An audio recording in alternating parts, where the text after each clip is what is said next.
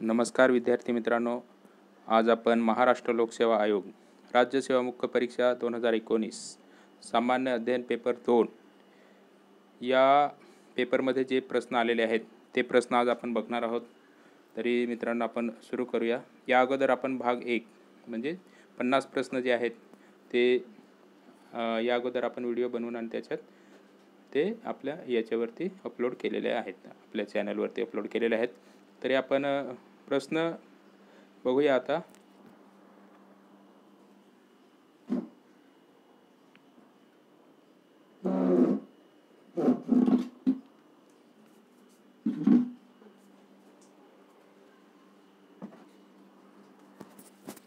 इथं प्रश्न बघण्याचा उद्देश काय? तर आप आपल्याला जे परीक्षेमध्ये विचारले जातात प्रश्न ते कसे प्रश्न येतात येतात? प्रश्न कसे येतात? आणि आपण अभ्यास कसा केला पाहिजे? हे समजून घेण्यासाठी आपण इथं प्रश्न बघत आहोत. तरी आपण आता सुरू करूया. प्रश्न क्रमांक एक. एकोणीसशे पस्तीसच्या भारत सरकारच्या कायद्यासंदर्भात खालील विधाने लक्षात घ्या. विधान आहे अ. ह्या कायद्यामुळे प्रांतिक स्वायत्ता प्राप्त झाली. ब. फेडरल कोर्टाची स्थापना ह्या कायद्यानुसार झाली. क. रिझर्व्ह बँकेची स्थापना ह्या कायद्यानुसार झाली. वरीलपैकी कोणते विधान बरोबर आहे? तर मित्रांनो आपण एकोणीसशे पस्तीसचा जो कायदा आहे तो आपण इतिहास या विषयामध्ये बघितलेलाच आहे. तरी पण आपण इथं जो काय हे प्रश्न विचारलेत या प्रश्नामध्ये जे प्रश्न विचारला आहे त्या त्याचे जे विधानं दिलेले आहेत ते ब पुन्हा एकदा वाचूया. ह्या कायद्यामुळे प्रांतिक स्वायत्ता प्राप्त झाली. ब फेडरल कोर्टाची स्थापना ह्या कायद्यानुसार झाली. क रिझर्व्ह बँकेची स्थापना ह्या कायद्यानुसार झाली. वरीलपैकी कोणती विधाने बरोबर आहेत? तर मित्रांनो आपल्याला पर्याय दिलेले आहेत. एक अ आणि ब दोन ब आणि क तीन नंबर अ आणि क चार नंबर वरील सर्व. तर बरोबर उत्तर आहे मित्रांनो? चार नंबर पर्याय पर्याय. वरील सर्व. अशा प्रकारे आपण पहिला प्रश्न बघितला.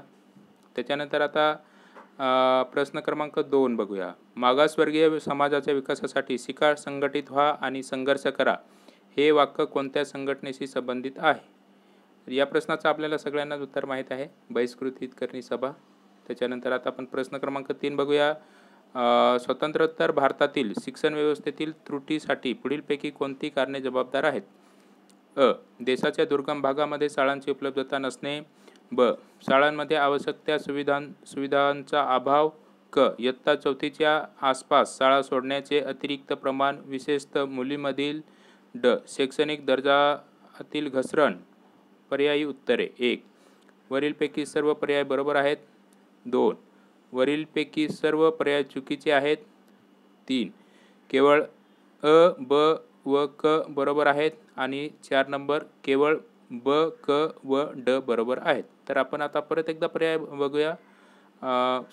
प्रश्न काय विचारला आहे तर स्वतंत्र स्वतंत्रोत्तर म्हणजे आपला भारत देश स्वतंत्र झाल्यानंतर भारतात जी शिक्षण व्यवस्था आहे. त्याच्यामध्ये जी त्रुटी राहिल्या त्याच्यासाठी कोण कोणती कारणे आहेत? कोणती कारणे म्हणजे आहेत? कोणते पुढीलपैकी कोणती कारणे जबाबदार आहेत? तर पहिलं पहिला आहे देशाच्या दुर्गम भागामध्ये देशाच्या दुर्गम भागामध्ये. आपला भारत देश हा खूप मोठा आहे. त्याच्यामुळे आपल्या भारताचे क्षेत्रफळ बत्तीस सत्याऐंशी दोनशे त्रेसष्ट. एवढं मोठं आपलं ते क्षेत्रफळ आहे भारताचा भारताचं. आणि भारतामध्ये टोटल ज्यावेळेस स्वतंत्र झाला त्यावेळेस शिक्षण शिक्षणासंदर्भात जे जे काय आपल्या भारतामध्ये व्यवस्था होती शिक्षणासंदर्भात त्याच्यामध्ये काय त्रुटी होत्या? तर देशाच्या दुर्गम भागामध्ये शाळांची उपलब्धता नसणे ही एक पर्याय बरोबर आहे. त्याच्यानंतर ब शाळांमध्ये आवश्यक त्या सुविधांचा अभाव बरोबर? हे पण पर्याय बरोबर आहे. क इयत्ता चौथीच्या आसपास शाळा सोडण्याचे अतिरिक्त प्रमाण विशेष मुलीमधील. तर मित्रांनो आप आपला भारत देश आहे त्याच्यामध्ये गावामध्ये जास्त लोकसंख्या राहते आणि शहरामध्ये कमी. गावामध्ये जे जे काय आहे ते आप कृषीप्रधान देश असल्यामुळे आपला भारत देश हा कृषीप्रधान देश असल्यामुळे आणि दुर्गम भाग असल्यामुळे शाळांची उपलब्धता ही कमी कमी होती. बरोबर? शाळांमध्ये आवश्यक त्या सुविधांचा अभाव. बरोबर? गावांमध्ये सा- अजून पण शाळे शाळेमध्ये ज्या काय आवश्यक सोयीसुविधा आहेत त्या कमी आहेत. बरोबर? इयत्ता चौथीच्या आसपास शाळा सोडण्याचे अतिरिक्त प्रमाण विशेष मुलीमधील. बरोबर? जसं आता गावामध्ये वगैरे बघितले आता सध्याच्या परिस्थितीत तरी पण गावामध्ये मुली ज्या आहेत ते आता शिक्षण घेतात पण स्वतंत्रोत्तर भारतामध्ये. त्यावेळेस कसं लहान लहान म्हणजे बालविवाह वगैरे केले जायचे त्याच्यामुळे चौथीपर्यंत मुली शिकायच्या आणि त्याच्यानंतर मग लग्न झाल्यावर संसार करण्यासाठी जायचे. आणि शैक्षणिक दर्जातील घसरण शैक्षणिक दर्जातील घसरण हा एक पर्याय दिलेला आहे. तर हा पण पर्याय बरोबर आहे. मित्रांनो अशा प्रकारे या प्रश्नाचं आपण उत्तर बघि बघितलं आहे तर या विषयावर जे आहे ते आपल्याला शिक शिक्षण या टॉपिकवर आपण ज्यावेळेस चर्चा करू त्यावेळेस आपण या हा प्रश्न पुन्हा एकदा बघून आणि त्याच्यावर सविस्तर चर्चा करूया. आता फक्त आपण प्रश्न कसे येतात? परीक्षेमध्ये प्रश्न कसे येतात आणि आपण ते कसे सोडवले पाहिजेत याच्या संदर्भात आपण चर्चा करत आहोत. त्याच्यानंतर आता आपण बघूया प्रश्न क्रमांक चार शिक्षण शिक्षणाचा अधिकार दोन हजार एकोणीस दोन हजार नऊ नं नुसार शाळा व्यवस्थापन रचनेत समावेश आहे. प्रश्न क्रमांक चार शिक्षणाचा अधिकार दोन हजार नऊनुसार शाळा व्यवस्थापन रचनेत समावेश आहे. अ.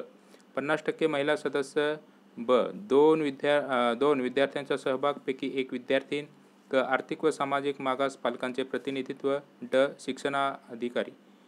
प्राथमिक. ई. उच्च शिक्षित व्यक्तींचे प्रतिनिधित्व योग्य पर्याय निवडा. एक फक्त अ ब क. दोन फक्त ब क ड. तीन नंबर फक्त क ड आणि ई. चार नंबर फक्त ब ड आणि ई. तर इथं मित्रांनो आपल्याला प्रश्न काय विचारला आहे? ते आपण पुन्हा बघूया एकदा.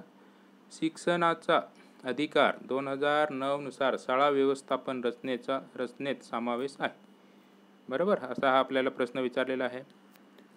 तर आपल्याला हे माहितीच आहे दोन हजार नऊनुसार आपल्या घश घटनेमध्ये जी काय घटनादुरुस्ती झाली शहाऐंशीवी घटनादुरुस्ती झाली त्याच्यानुसार आपल्या लहान मुलांना म्हणजे इयत्ता सहा ते चौदा वर्षाच्या ज्या मुलांना शिक्षण हे मोफत सरकारने केलेलं आहे आणि ते कंपल्सरी केलेलं आहे. तर त्याच्यामध्ये आपल्याला इथं म्हणजे दोन हजार नऊनुसार शाळा व्यवस्थापन रचनेत समावेश आहे. शिक्षणाचा अधिकार दोन हजार नऊनुसार शाळा व्यवस्थापन रचनेत समावेश आहे. तर पहिला पर्याय आहे अ पन्नास टक्के महिला सदस्य बरोबर? हे बरोबर. दोन नंबर दोन विद्यार्थ्यांचा सहभाग पैकी एक विद्यार्थीने हे पण पर्याय बरोबर आहे. आणि क आर्थिक व मागासले मागास पालकांचे प्रतिनिधित्व बरोबर? म्हणजे अ ब क बरोबर आहे. आणि ड पर्याय काय दिलेला आहे तर शिक्षणाधिकारी प्राथमिक हे नाही हे हे चुकीचे आहे. ई उच्च उच्च शिक्षित व्यक्तींचे प्रतिनिधित्व हे पण चुकीचे आहे. अशा प्रकारे अ ब क हे अ, उत्तर बरोबर आहे. तर हा प्रश्न आपण बघितला. आता पुढचा प्रश्न बघूया आपण. प्रश्न क्रमांक पाच. भारतीय संविधानात अंतर्भूत करण्यात आलेल्या शि आलेला शिक्षणाचा हक्क कोणत्या घटनादुरुस्तीद्वारे करण्यात आलेला आहे? तर आता आपण इथं बघूया. पर्याय एक चौऱ्याऐंशीवी घटना दुरुस्ती दोन पंच्याऐंशीवी घटनादुरुस्ती तीन शहाऐंशीवी घटनादुरुस्ती चार सत्याऐंशीवी घटनादुरुस्ती. तर आता आपण इथंच बघितलं आहे मगाशीच शहाऐंशीवी घटनादुरुस्ती यानुसार भारतीय संविधानात अंतर्भूत करण्यात आलेला शिक्षणाचा हक्क हा कोणत्या घटनादुरुस्तीवर करण्यात आलेला आहे? तर तो शहाऐंशीवी घटनादुरुस्तीनुसार करण्यात आलेला आहे. बरोबर? आता पुढचा प्रश्न बघूया आपण. प्रश्न क्रमांक सहा जोड्या लावा. अ आणि ब. अ शिक्षणावरील राष्ट्रीय धोरण हे कधी झाले तर एकोणीसशे शहाऐंशी साली. शिक्षणावरील राष्ट्रीय धोरण हे कधी झाले तर एकोणीसशे शहाऐंशी. आणि ब राष्ट्रीय ज्ञान आयोग हा दोन हजार सहा ते दोन हजार नऊ या वर्षी झालेला आहे. त्याच्यानंतर राष्ट्रीय अभ्यासक्रम आराखडा हा कधी झाला आहे तर दोन हजार पाच साली. आणि ड शिक्षकांच्या शिक्षणाबाबत राष्ट्रीय अभ्यासक्रम आराखडा हा कधी झाला आहे तर आराखडा अभ्यासक्रम आराखडा हा दोन हजार नऊमध्ये झालेला आहे. अशा प्रकारे हा आपण इथं जोड्या बघितल्या त्याच्यानंतर प्रश्न क्रमांक सात. राष्ट्रीय माध्यमिक शिक्षा अभियानाची आर एम एस ए अंमलबजावणी कोणत्या वर कोणत्या साली सुरू झाली? तर हे आपल्याला माहितीच आहे राष्ट्रीय माध्य शिक्षा राष्ट्रीय माध्यमिक शिक्षा अभियानाची आर एम एस ए अंमलबजावणी कोणत्या साली झाली? एक दोन हजार आठ दोन दोन हजार नऊ तीन दोन हजार दहा चार नंबर दोन हजार अकरा. तर या प्रश्नाचं बरोबर उत्तर आहे दोन हजार नऊ. आपण हे जे काय आहे ते टॉपिक वाईज म्हणजे शिक्षण. आता आपला जो टॉपिक आहे तो शिक्षण. या घटकावरचे आपण प्रश्न बघत आहोत. आणि विशेष म्हणजे हे आपण प्र परीक्षेत कसे आले प्रश्न ते बघूया. आणि नंतरचे नंतर जे काय आपण अभ्यासक्रमावाईज व्हिडिओ बनवणार आहोत त्याच्यामध्ये हे प्रश्न आप परत आपण बघणारच आहोत. तरी पण आपल्याला प्रश्न कसे येतात हे समजावं आणि अभ्यास कसा करायचा हे याच्यासाठी हा प्रयत्न आहे. त्याच्यानंतर प्रश्न क्रमांक आठ योग्य कथने ओळखा. अ. ऑक्टोबर एकोणीसशे सत्तेचाळीसमध्ये महात्मा गांधी यांच्या अध्यक्षतेखाली अखिल भारतीय राष्ट्रीय शैक्षणिक परिषदेचे आयोजन करण्यात आले होते. ब. ही परिषद वर्धा शैक्षणिक परिषद म्हणून सुद्धा ओळखली जाते. क. ह्या परिषदेत मात्र मोफत व सक्तीचे प्राथमिक व माध्यमिक शिक्षण कलाकौशल्यावर आधारित शिक्षण यांना महत्त्व देण्यात आले. आपल्याला इथं पर्याय दिलेले आहेत. एक फक्त अ आणि ब. दोन नंबर फक्त ब आणि क. तीन नंबर फक्त अ आणि क. चार नंबर पर्याय जो दिलेला आहे तो आपल्याला वरीलपैकी सर्व. हा चार नंबर आपल्याला पर्याय दिलेला आहे. तर मित्रांनो या प्रश्नाचं बरोबर उत्तर आहे वरीलपैकी सर्व. कारण योग्य कथने ओळखा असा आपल्याला प्रश्न विचारला आहे आणि जे इथं आपल्याला हे दिलेले आहेत मुद्दे. म्हणजेच अ. ऑक्टोबर एकोणीसशे सत्तेचाळीसमध्ये महात्मा गांधी यांच्या अध्यक्षतेखाली अखिल भारतीय राष्ट्रीय शैक्षणिक परिषदेचे आयोजन करण्यात आले होते. हे बरोबर आहे. त्याच्यानंतर ब ही परिषद वर्धा शैक्षणिक परिषद म्हणून सुद्धा ओळखली जाते. हे पण बरोबर आहे. क ह्या परिषदेत मात्र मोफत व सक्तीचे प्राथमिक व माध्यमिक शिक्षण कलाकौशल्यावर आधारित शिक्षण यांना महत्त्व देण्यात आलेले होते. म्हणजे म आपले जे महात्मा गांधी आहेत त्यां त्यांचा जो दूर दूरदृष्टिकोन होता की आपल्या भारतामध्ये जे विद्यार्थी आहेत त्यांना मोफत व सक्तीचे प्राथमिक शिक्षण आणि माध्यमिक शिक्षण हे मोफत देण्यात यावं आणि कलाकौशल्यावर आधारित शिक्षण पण यांना महत्त्व देण्यात आलेले होते. म्हणजे एकोणीसशे किती? सत्तेचाळीस ऑक्टोबर एकोणीसशे सत्तेचाळीसमध्ये त्यांनी हे मांडलेलं होतं. बरोबर? आणि ते मोफत व सक्तीचे शिक्षण कधी झाले? तर एकोणीसशे शे आपल्या आता आता जी आपली घटना दुरुस्ती झाली ही जी आपण घटनादुरुस्ती झाली शहाऐंशीवी घटना दुरुस्ती म्हणजे किती वेळ लागला? लय दोन हजार नऊ साली झालं बरं एकवीस कलम एकवीस ए अनुसार. एकोणीसशे सत्तेचाळीस साली तो मुद्दा मांड वर्धा शिक्षण परिषद जी झाली त्याच्यामध्ये मांडलेला आहे. त्याच्यानंतर प्रश्न क्रमांक चार नऊ. सॉरी प्रश्न क्रमांक नऊ कोठारे आयोगाने एकोणीसशे चौसष्ट सहासष्ट शिक्षणामध्ये सुधारणा करण्यासाठी खालील मुद्दे सुचवले होते. खालील खालील उद्दिष्टे उद- खालील उद्दिष्टे सुचवली होती.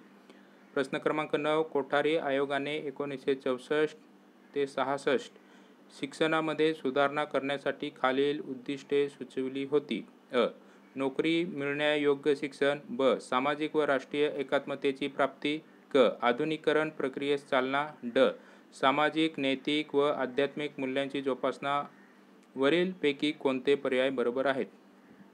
आहेत. एक. अ ब क दोन नंबर अ ब ड तीन नंबर ब क ड आणि चार नंबर अ क ड. बरोबर? अशा प्रकारे हे आपल्याला पर्याय दिलेले आहेत. पर्याय आपण पुन्हा एकदा बघूया. वरीलपैकी कोणते पर्याय बरोबर आहेत? तर अ ब क. दोन नंबर अ क ड. तीन नंबर ब क ड आणि चार नंबर अ क ड. परत एकदा आपण प्रश्न बघूया. प्रश्न पुन्हा बघूया एकदा आपण. कोठारी आयोग म्हणजे आपल्याकडे जो ते शिक्षणासंबंधाचे झालेले आहेत झालेला जो आहे आपला कोठारी आयोग त्यामध्ये एकोणीसशे चौसष्ट आणि एकोणीसशे सहासष्ट. शिक्षणामध्ये सुधारणा करण्यासाठी खालील उद्दिष्टे सुचवली होती. तर पहिला जो पर्याय आहे तो चूक नोकरी मिळवण्यायोग्य शिक्षण हा पर्याय चुकीचा आहे. ब सामाजिक व राष्ट्रीय एकात्मतेची प्राप्ती हा पर्याय बरोबर आहे. हे उद्दिष्ट सुचवलेलं होतं त्या आयोगाने. ते उद्दिष्ट काय आहे? तर सामाजिक आणि राष्ट्रीय एकात्मतेची प्राप्ती. म्हणजे आपल्या भारत देशामध्ये सामाजिक आणि राष्ट्रीय एकात्मता आपण जो काय भार आपल्या भारताची जी उद्देशिका बघितली भाग एकमध्ये त्याच्यामध्ये आपल्याला जे काय दिलेलं आहे राष्ट्राची एकात्मता आणि बंधुता बंधुता आणि राष्ट्राची एकात्मता जे आपल्या जो सरनामा आहे त्याच्यामध्ये ते सगळे मुद्दे आपल्याला दिलेले आहेत. ते इथं समावेश केलेले आहेत. त्याच्यानंतर आधुनिकरण प्रक्रियेस चालना. तर हे पण म बरोबर आहे. आपण पर्याय बरोबर आहे. आपण आधुनिकरण आपल्या शिक्षणामध्ये जे काय आहे ते आधुनिकरण झालं पाहिजे आणि त्या आधुनिकरण आधुनिकीकरणाच्या प्रक्रियेस चालना मिळाली पाहिजे. त्याच्यानंतर हा पण पर्याय ड सामाजिक नैतिक व आध्यात्मिक मूल्याची जोपासना वरीलपैकी कोणते पर्याय बरोबर आहे तर सामाजिक नैतिक व आध्यात्मिक मूल्याची जोपासना आपण पर्याय बरोबर आहे.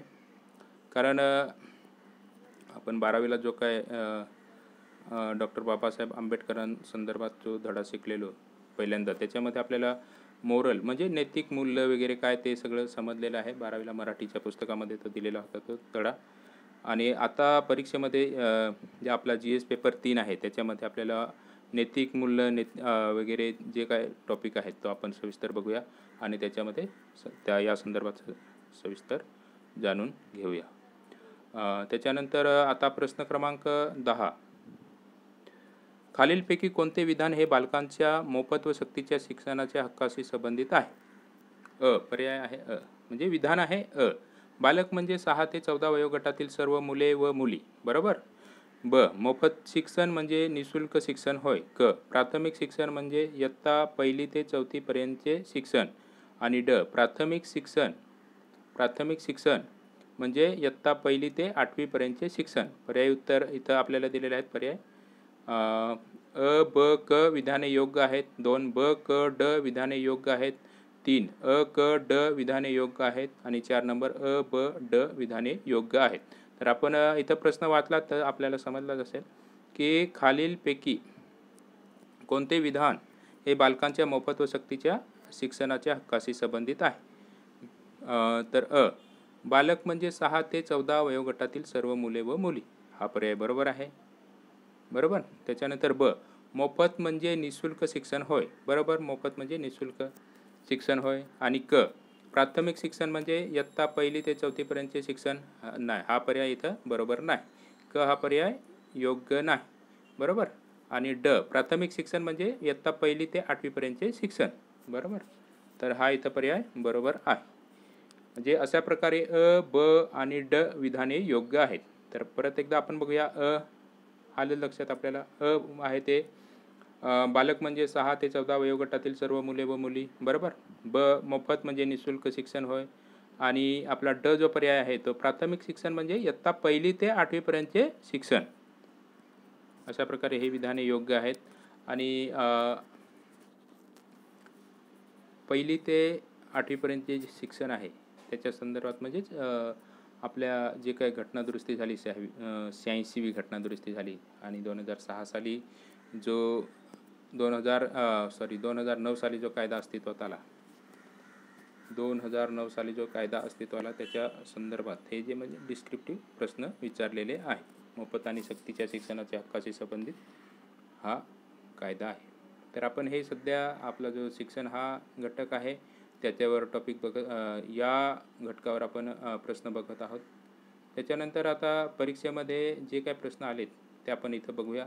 बघून आणि त्याच्यानंतर मग आपल्याला जसजसं प्रश्न समजतील तसतसं आपण कोणत्या टॉपिकवर जास्त भर द्यायचा त्यानुसार आपण अभ्यास करूया. त्याच्यानंतर प्रश्न क्रमांक अकरा. जानेवारी दोन हजार सोळामध्ये प्रसिद्ध करण्यात आलेल्या बातमीप्रमाणे येथील केंद्रीय बौद्ध अभ्यास संस्थेला पाच वर्षासाठी अस्थायी स्वरूपात अभिमत विद्यापीठाचा दर्जा देण्यात आलेला आहे.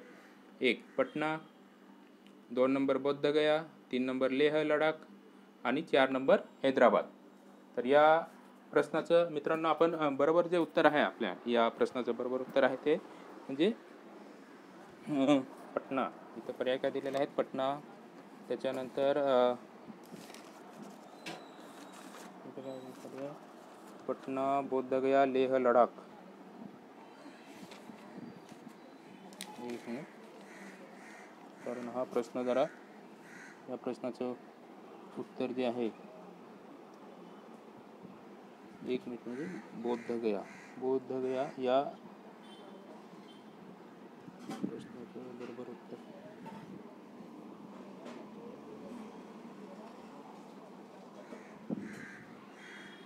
बोधगया नाही. बोधगया पटना प्रसिद्ध केले दोन हजार सोळामध्ये जानेवारी दोन हजार सोळामध्ये हे जे आलेले आहे महाविद्यालय नियंत्रक नऊ ते एकोणीसशे पस्तीस या प्रश्नाचं बरोबर उत्तर आहे ते म्हणजे बत्तीस नंबर. या प्रश्नाचं बरोबर उत्तर आहे ते एक नंबर बे म्हणजे पटना. पटना या ठिकाणी हे करण्यात आलेलं आहे.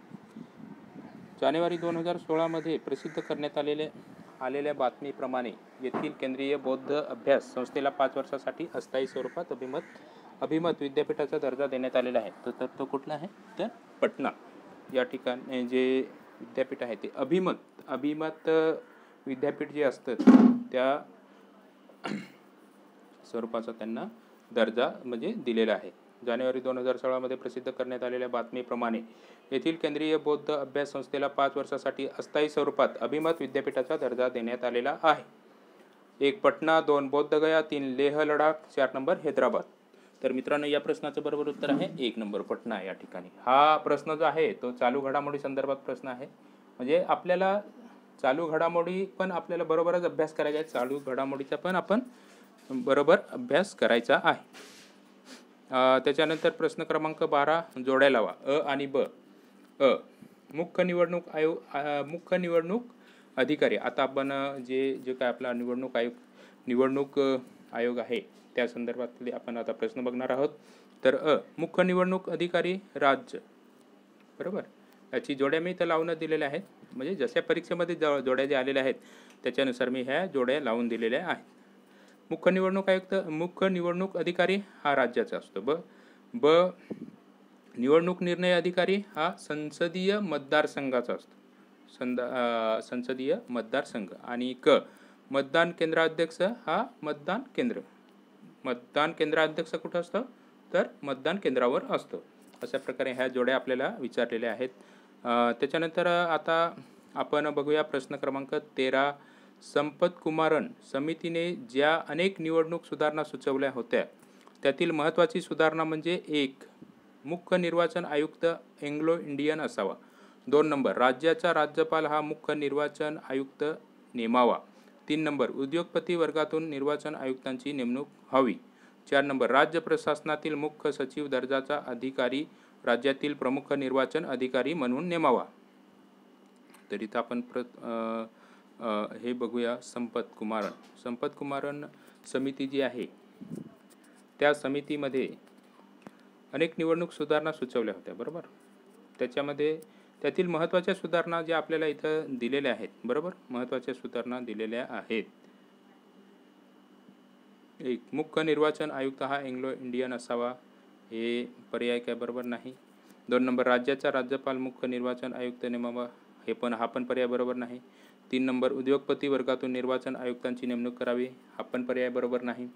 चार नंबर राज्य प्रशासनातील मुख्य सचिव दर्जाचा अधिकारी राज्यातील प्रमुख निर्वाचन अधिकारी म्हणून नेमावा. बरोबर? हा पर्याय बरोबर आहे. तर या प्रश्नाचं उत्तर आहे चार नंबर. पर्याय बरोबर आहे. बरोबर? त्याच्यानंतर आता प्रश्न क्रमांक चौदा. आपण मत आपल्या निवडणुकीसंदर्भातच जो काय आपला घटक आहे त्याच्या त्या घटकाचाच प्रश्न आहे. प्रश्न क्रमांक चौदा E dot T dot P dot बीचा अर्थ आहे. इथं आपल्याला म्हणजे संक्षिप्त जे काय आहे ते शॉर्टकट दिलेलं आहे त्याचं आपण शॉर्ट फॉर्म दिलेला आहे त्याचं आपण ते हे करायचं आहे तर या प्रश्नाचं जे बरोबर उत्तर आहे इलेक्शन ज्या वेळेस होतं बरोबर? त्यावेळेस जे आपले पेपर असतात इलेक्शन संदर्भात जे काय पेपर असतात आपल्याला जे प्र दिलेले असतात पेप म्हणजे ते भरून आपण पाठवायचे असतात. बॅलेट पेपर बोलतात त्याला. तर त्या बॅलेट पेपर संदर्भात हा प्रश्न आहे.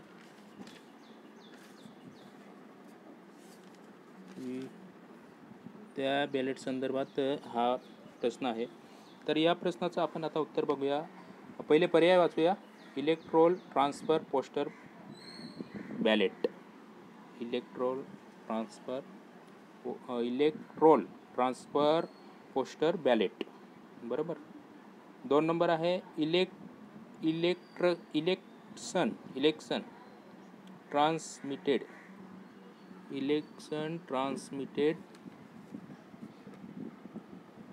transmitted postal ballot आणि तीन नंबर आहे इलेक्ट्रॉनिकली ट्रान्सफर्ड पोस्टल बॅलेट आणि चार नंबर आहे इलेक्ट्रॉनिकल ट्रान्समिटेड पोस्टल बॅलेट तर या प्रश्नाचं बरोबर उत्तर आहे मित्रांनो चार नंबर पर्याय. Electronic electronically transmitted postal ballot अशा प्रकारे आपला जो प्रश्न क्रमांक चौदा आहे त्या प्रश्नाचं उत्तर आहे चार नंबर पर्याय. पर्याय क्रमांक चार या प प्रश्नाचं उत्तर आहे. त्याच्यानंतर आता आपण बघूया प्रश्न क्रमांक पंधरा. ई व्ही एमच्या माध्यमातून जास्तीत जास्त किती उमेदवारांसाठी मतदान घेता येते? तर पर्याय दिलेले आहेत इथं एक सोळा दोन नंबर बत्तीस तीन नंबर अठ्ठेचाळीस चार नंबर चौसष्ट. तर बरोबर उत्तर आहे पर्याय क्रमांक चार चौसष्ट. कारण आता आपल्या भारतामध्ये सर्रास ई व्ही एमचा उपयोग होतो मतदानासाठी. जे काय आपल्याकडे मतदान होतं. लोकसभा त्याच्यानंतर आपलं विधानसभा यासाठी जे मतदान होतं तर शक्यतो आज तिथं ई व्ही एम या मशीनचाच वापर केला जातो. आणि त्याच्यामध्ये किती उमेदवारसाठी मतदान घेता येतं तर चौसष्ट. E V M E V M machine मध्ये ई व्ही ई व्ही एमच्या माध्यमातून जास्तीत जास्त किती उमेदवारांसाठी मतदान घेता येते?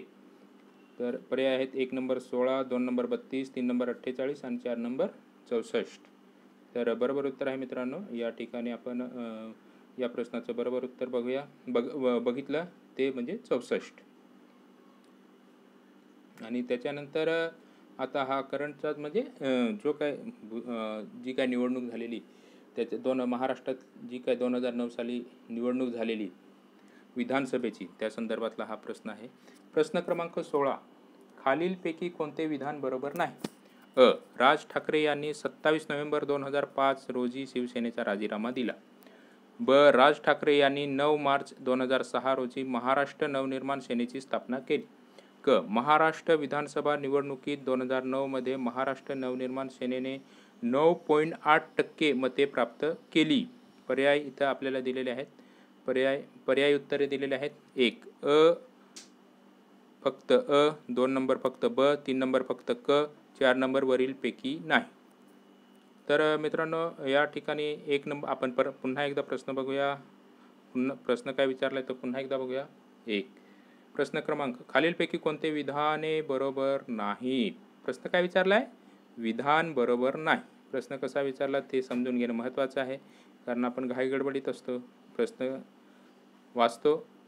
आणि खालीलपैकी कोणते विधान बरोबर नाही? बरोबर?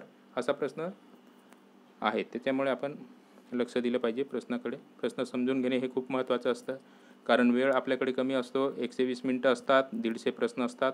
त्याच्यामध्ये आपली घाई झालेली असते. कारण हे सगळं एवढं वाच वाचून आणि नंतर तो प्रश्न सोडवायचा असतो.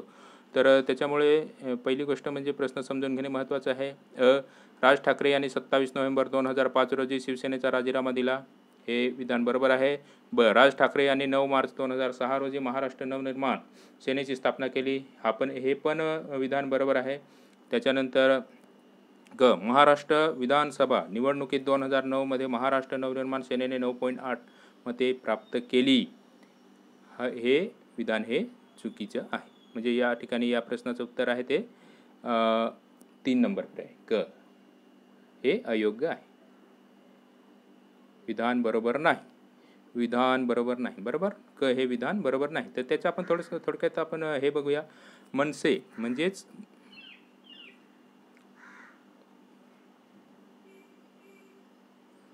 मनसे म्हणजे महाराष्ट्र नवनिर्माण सेना. मनसेचा अर्थ काय आहे? तर महाराष्ट्र नवनिर्माण सेना. आणि पक्षप्रमुख कोण आहेत? तर श्री राज ठाकरे हे आहेत. सन दोन हजार एकोणीसच्या महाराष्ट्र विधानसभा निवडणुकीत ते एक. उत्तर महाराष्ट्रामध्ये त्यांनी तीन त्यांचे तीन खासदार निवडून आले तीन आमदार निवडून आलेले आहेत. सॉरी इथं जरा चुकीचं बोललो.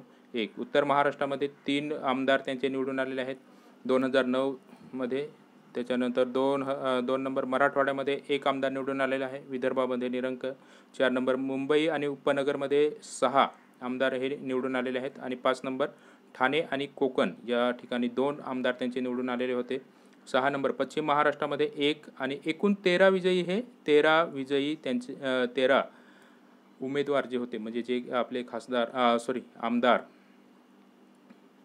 आमदार हे विधानसभेसाठी असतात आणि खासदार हे लोकसभेसाठी असतात. बरोबर? तर एकूण तेरा विजयी उमेदवार म्हणजे तेरा त्यांचे आमदार निवडून आलेले होते. तर त्यांना जे प्राप्त झालेले मतांची टक्केवारी होती ती पाच पॉईंट एकाहत्तर. होती पाच पॉईंट एकाहत्तर. बरोबर? पाच पॉईंट एकाहत्तर अशी होती. तर इथं आपल्याला त्यांनी पर्याय काय दिलेला आहे? क पर्याय काय दिलेला आहे? महाराष्ट्र विधानसभा निवडणुकीत दोन हजार नऊमध्ये महाराष्ट्र नवनिर्माण सेनेने नऊ पॉईंट आठ टक्के मते प्राप्त केली. हा पर्याय चुकीचा आहे. तर त्याचं बरोबर उत्तर काय आहे? पाच पॉईंट एकाहत्तर टक्के. ओके? आणि त्या दोन हजार नऊच्या विधानसभेमध्ये काँग्रेस प पक्षाचे जे होते ते ब्याऐंशी आमदार निवडून आलेले होते. त्यांना मतं मिळाली होती एकवीस पॉईंट एक टक्के. दोन नंबर राष्ट्रवादी काँग्रेस पक्षाचा चे बासष्ट आमदार निवडून आलेले होते. त्यांना मते मिळाली होती सोळा पॉईंट सदोतीस टक्के. भाजपात भाजप जो आपला भारतीय जनता पार्टी त्याला शहाऐंशी सॉरी भाजप या पक्षाला शेहेचाळीस. भाजप पक्षाचे किती होते? निवडून आलेले आमदार तर सेहेचाळीस. आणि त्यांना किती टक्के मत मिळाले होतं? तर चौदा पॉईंट दोन टक्के. आणि शिवसेना शिवसेना या पक्षाला चौरे चौरेचा च- शिवसेना या पक्षाचे चौवेचाळीस आमदार निवडून आलेले होते आणि त्यांचे जे मताची टक्केवारी आहे त्यांना जे मत मिळालेलं होतं त्या मताची टक्के आहे सोळा पॉईंट सव्वीस टक्के. अशा प्रकारे हे जे आपले मेन म्हणजे सध्या मुख्य जे पक्ष आहेत त्यांची मी इथं दोन हजार नऊ साली जी निवडणूक झालेली होती. त्याच्यामध्ये जे टक्केवारीनुसार त्यांना जे मतं मिळालेली होती त्याची इथं मी टक्केवारी आणि आलेले निवडून आलेले उमेदवारांची संख्या म्हणजे आमदार त्यांचे जे निवडून आलेले होते त्यांची इथं संख्या दिलेली आहे. त्याच्यानंतर प्रश्न क्रमांक सतरा योग्य कथने ओळखा. अ भारतीय राष्ट्रीय काँग्रेसची स्थापना अठराशे पंच्याऐंशीमध्ये झाली. इथं का आपल्याला काय विचारलं आहे तर योग्य कथने ओळखायला सांगितले बरोबर? अ भारतीय राष्ट्रीय काँग्रेसची स्थापना अठराशे पंच्याऐंशीमध्ये झाली. भारतीय जनता पार्टीची स्थापना एकोणीसशे ऐंशीमध्ये झाली. क राष्ट्रीय काँग्रेसची स्थापना एकोणीसशे नव्याण्णवमध्ये झाली. ड भारतीय साम्यवादी पक्षाची स्थापना एकोणीसशे तीसमध्ये झाली. पर्यायी उत्तरे. पर्यायी उत्तरे इथं आपल्याला दिलेले आहेत. एक फक्त अ ब आणि क दोन नंबर दिलेला आहे. फक्त अ ब आणि ड. तीन नंबर आहे फक्त ब क ड. आणि चार नंबर दिलेला आहे वरीलपैकी सर्व. प्रश्न काय विचारला आहे आपल्याला? योग्य कथने ओळखा. अ. भारतीय राष्ट्रीय काँग्रेसची स्थापना एकोणीसशे पंच्याऐंशी झाली हे योग्य आहे. दोन नंबर भारतीय जनता पार्टीची स्थापना एकोणीसशे ऐंशी साली झाली हे पण बरोबर आहे. क. राष्ट्र राष्ट्रवादी काँग्रेसची स्थापना एकोणीसशे नव्याण्णवमध्ये झाली हे पण बरोबर आहे. तर इथं ड हे चुकीचं आहे. त्याचं त्या भारतीय समाजवादी पक्षाची स्थापना एकोणीसशे पंचवीसमध्ये झालेली आहे आणि त्याचे जे संस्थापक म्हणजे स्थापन करणारे आहेत ते कॉम्रेड श्रीपाद अमरोड डांगे यांनी त्या पक्षाची स्थापना केलेली आहे. साम्यवादी साम्यवादी म्हणजे कम्युनिस्ट पक्ष. त्याच्यानंतर आपण आता बघूया प्रश्न क्रमांक अठरा जोड्याला वा अ राजकीय पक्ष ब निवडणूक चिन्हे. अ ऑल इंडिया मजलिस ए तेहादुल मुसलमीन. हे आपल्याला सगळ्यांनाच माहिती आहे या पक्षाचं जो निवडणूक चिन्ह आहे ते पतंग आहे. ब तेलंगणा राष्ट्र समितीचं आहे ते कार. आणि तेलुगू देसमचं आहे ते सायकल. आणि युवराज श्रमिक रायतू काँग्रेस पार्टी छताचा पंखा. अशा प्रकारे हे आपण ज्यावेळेस अभ्यासक्रमानुसार बघूयात. पक्ष या घटकावर आपण ज्यावेळेस चर्चा करूया त्यावेळेस आपल्या भारतामध्ये जे काय पक्ष आहेत त्या पक्षांसंदर्भात आपण चर्चा करणार आहोत. त्याच्यामध्ये त्यांचा संस्थापक कोण त्यांनी कधी कधी तो पक्ष कधी स्थापन केला ते पक्षाचा प्रमुख कोण आणि त्यांचे निवडणूक चिन्ह चिन्ह काय? या संदर्भात आपण सविस्तर अभ्यास करणार आहोत सध्या फक्त इथं कसे प्रश्न विचारले जातात ते आपण बघत आहोत. आणि आपल्याला माहितीच आहे की आपला जे राष्ट्रीय पक्ष आहेत काँग्रेस काँग्रेस पक्षाचा हाताचा पंजा हे निवडणूक चिन्ह आहे. आणि आपलं भाजप भाजप म्हणजे भारतीय जनता पार्टीचा कमळ हे चिन्ह आहे. त्याच्यानंतर आपल्या शिवसेनेचं. शिवसेनेचं निवडणूक चिन्ह आहे धनुष्यबाण. अशा प्रकारे महत्त्वाचे जे आणि राष्ट्रवादी आपला जो राष्ट्रवादी काँग्रेस पार्टी आहे त्या पक्षाचं निवडणूक चिन्ह आहे काय आहे? तर आपलं घड्याळ. त्याच्यानंतर आपण आता प्रश्न क्रमांक एकोणीस बघूया. खालील विधाने विचारत घ्या.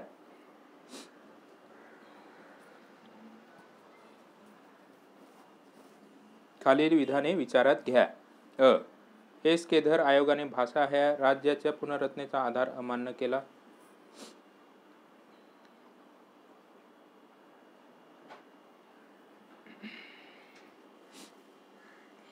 त्याच्यानंतर ब जे व्ही पी समितीने भाषा हा राज्याच्या पुनर्रचनेचा घटक मान्य केला होता.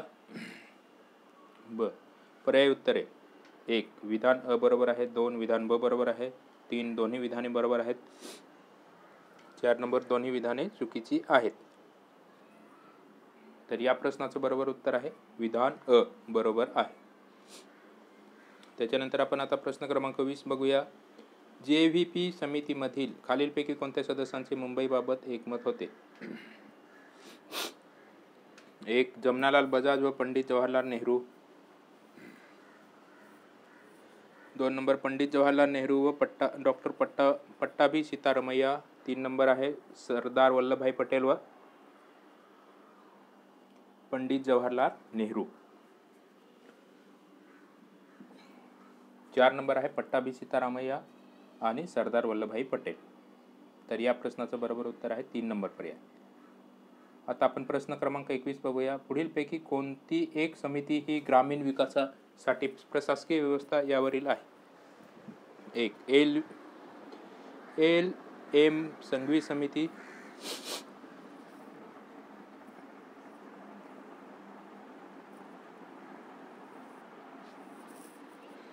दोन नंबर है ती जी वी के राव समिती, तीन नंबर है अशोक मेहता समिति, चार नंबर है पी बी पाटिल समिती.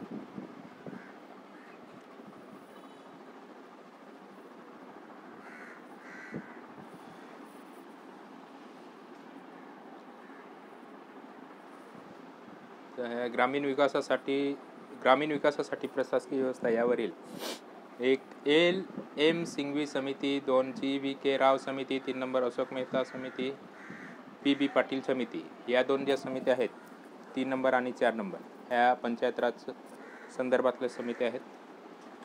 आणि या प्रश्नाचं बरोबर उत्तर आहे ते दोन नंबर जी व्ही के राव समिती. आणि त्याच्यानंतर आता आपण बघणार आहोत प्रश्न क्रमांक बावीस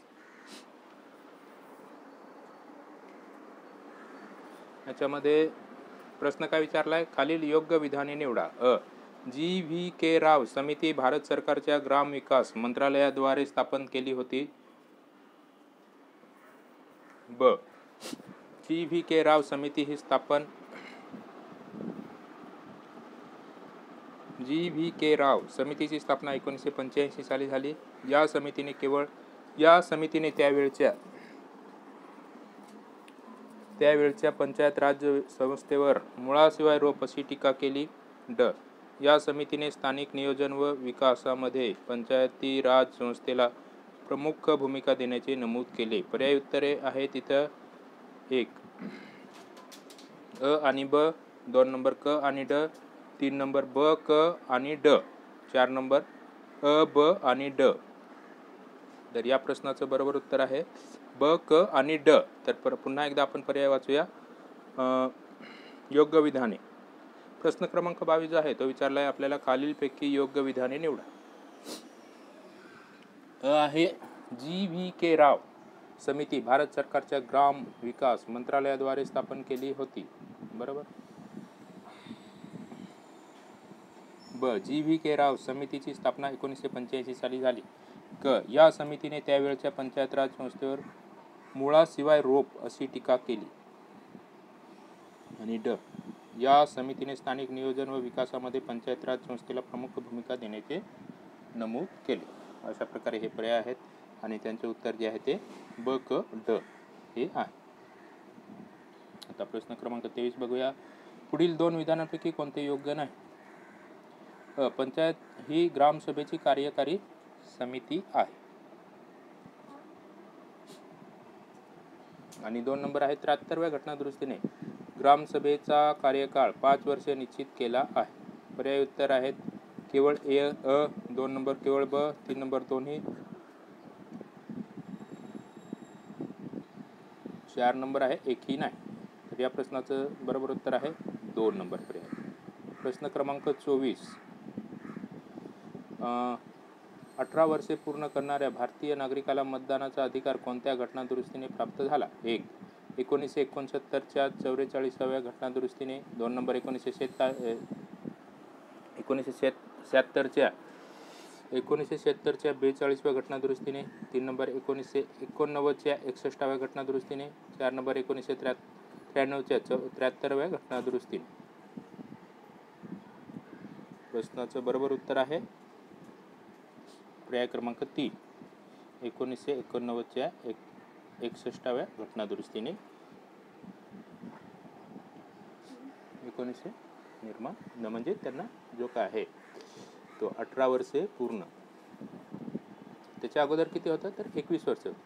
एकवीस वर्ष होतं. मग त्याच्यानंतर आता मग हे एकोणीसशे एकोणनव्वदच्या एकसष्टाव्या घटनादुरुस्तीनुसार त्यांना म्हणजे वर्ष पूर्ण करणाऱ्या भारतीय नागरिकाला मतदानाचा अधिकार कोणत्या घटनादुरुस्तीने प्राप्त झाला तर तो आहे तीन नंबर पर्याय. एकोणीसशे एकोणनव्वदच्या एकसष्टाव्या घटनादुरुस्ती त्याच्यानंतर प्रश्न क्रमांक आहे पंचवीस. पुढील विधानांचा अभ्यास करा. अ पारंपरिक व सामाजिक गटांनी लोकशाही संस्थांच्या कार्यप्रणालीसाठी सामाजिक आधार उपलब्ध करून दिला आहे. ब जात भाषा धर्म व प्रादेशिक. जात भाषा धर्म व प्रादेशिक अस्मितांनी आपल्या मागण्या मांडून सोयीची ध धोरणे व सोयी सुविधा मिळवण्याच्या दृष्टीने दबाव देण्यासाठी लोकशाहीवादी राजकारणाचा वापर केला आहे. ब. वरीलपैकी कोणते विधान बरोबर आहे? एक केवळ अ बरोबर दोन केवळ ब बरोबर तीन अ व ब दोन्ही बरोबर आहेत? आणि चार नंबर आहे पर्याय अ ब दोन्ही बरोबर नाही.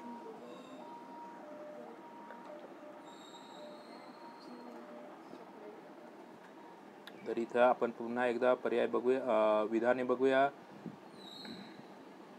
पारंपरिक व सामाजिक गटाने लोकशाही संस्थांच्या कार्यप्रणालीसाठी साठ सामाजिक आधार उपलब्ध करून दिला. हे पर्याय बरोबर आहे. ब जात धर्म व प्रादेशिक अस्मितांनी आपल्या मागण्या मांडून सोयीचे धोरण व सोयी सुविधा मिळवण्याच्या दृष्टीने दबाव देण्यासाठी लोकशाहीवादी राजकारणाचा वापर केला. तर इथं पर्याय आहे तीन नंबर. दोन्ही विधाने बरोबर आहेत. अ व ब दोन्ही विधाने बरोबर आहेत. आता प्रश्न क्रमांक आपण सव्वीसावा बघूया. आता आपण आलोय जिल्हाधिकारी या टॉपिकवर बरोबर? प्रश्न क्रमांक सव्वीस. जिल्हाधिकाऱ्याला विकास कामापासून दूर ठेवावे असे कोणी सुचवले आहे? एक प्रथम प्रशासकीय सुधारणा आयोग. दोन नंबर दुसरा प्रशासकीय सुधारणा आयोग. तीन नंबर पी आर दुभाषी आणि चार नंबर टी एन चतुर्वादी तर या प्रश्नाचं बरोबर उत्तर आहे दुसरा प्रशासकीय आयोग. त्याच्यानंतर प्रश्न क्रमांक सत्तावीस. या हा प्रश्न आपल्याला माहितीच आहे. हा इतिहासाचा प्रश्न तो इकडे विचारला. म्हणजे पंचायत राजमध्ये तो विचारलेला आहे. बंगालमध्ये महसूल महसूल वसूल करण्यासाठी आणि न्याय देण्यासाठी प्रथम कोणी जिल्हाधिकाऱ्याची नियुक्ती केली? एक लॉर्ड कॉर्नवालिस दोन नंबर लॉर्ड रिपन तीन नंबर लॉर्ड वॉरन हेस्टिंग चार नंबर मेकेट या प्रश्नाचं बरोबर उत्तर आहे उत्तर आहे तीन नंबर. इतिहासामध्ये आपण प्रश्न वाचलेलाच आहे आणि ते आपल्याला माहितीच आहे. त्याच्यानंतर प्रश्न क्रमांक अठ्ठावीस. खालीलपैकी कोणत्या कारणामुळे स्वतंत्र प्राप्तीनंतरच्या कालामध्ये जिल्हाधिकारी पदाची प्रतिष्ठा व अधिकार कमी होत गेले? अ शासन रचनेत झालेला बदल. ब जिल्ह्यामध्ये विभागाच्या संख्येत झालेली वाढ. क पंचायती राज पद्धतीचा उदय. ड कायदा व सुव्यवस्थेकरिता विभागीय पद्धतीत झालेली वाढ. पर्याय उत्तरे एक अ आणि ब. दोन नंबर अ ब आणि क. तीन नंबर ब क आणि ड. आणि चार नंबर आहे अ ब क आणि ड. या प्रश्नाचं बरोबर उत्तर आहे. पर्याय क्रमांक चार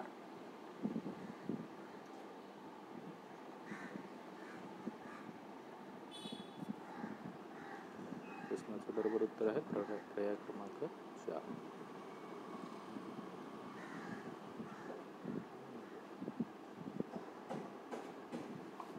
अठ्ठावीस नंबर आपण प्रश्न बघत होतो. खालीलपैकी कोणत्या कारणामुळे स्वतंत्र प्राप्तीनंतर नंतरच्या कालखंडामध्ये जिल्हाधिकारी पदाची प्रतिष्ठा व अधिकार कमी होत गेले? अ शासन रचनेत झालेला बदल ब जिल्हा जिल्ह्यामध्ये विभागाच्या संख्येत झालेली निवाड क पंचायती राज पद्धतीचा उदय ड कायदा व सुव्यवस्थेसाठी विभागीय पद्धतीत झालेली वाढ. तर हे चारीची चारी विधाने बरोबर आहेत. आता प्रश्न क्रमांक आपण एक एकोणतीस बघूया. केंद्रीय प्रशासन सुधारणा आयोगाच्या मताप्रमाणे जिल्हाधिकारी हे कार्य करेल. एक वित्तीय कार्य. दोन दंडाधिकाऱ्याचे कार्य. तीन नंबर नियामक निमा नियामकीय कार्य. आणि चार नंबर आहे विकास कार्य. तर बरोबर उत्तर आहे तीन नंबर पुढे आहे. नियामकीय कार्य. आता प्रश्न क्रमांक आपण तीस बघूया. खालील विधानांचा विचार करा. अ नगर परिषद सदस्य आपल्यामधून विषय समितां समित्यांच्या सदस्यांची निवड करतात. ब ही नि ही ब ही निवड प्रमाणशीर एक प्रतिनिधित्व प्र प्रमाणशीर प्रतिनिधित्वाच्या एकल संक्रमणीय संक्रमणीय मताद्वारे केली जाते.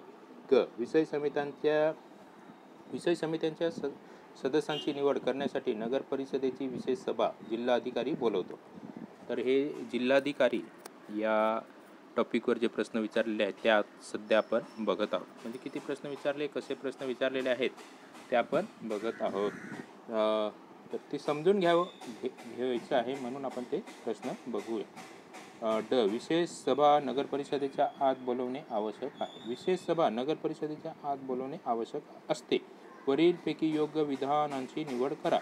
तर इथं क ब क हे पर्याय जे आहेत ते बरोबर आहेत आणि चौथा जो पर्याय आहे तो असा दिलेला आहे विशेष सभा नगर परिषदेच्या आत बोलावणे आवश्यक असते. हा पर्याय चुकीचा आहे आणि जे इथं जे आपल्याला तीन विधाने दिलेली आहेत ती तिन्हीची तिन्ही विधानं बरोबर आहेत. अ नगर परिषद सदस्य आपल्यामधून विषय समित्यांच्या सदस्यांची निवड करतात. तर हे बर हा बरोबर आहे. दोन नंबर ही निवड पद प्रमाणशीर प्रतिनिधित्वाच्या एकल संक्रमणीय पदाद्वारे केली जाते हे पण बरोबर आहे.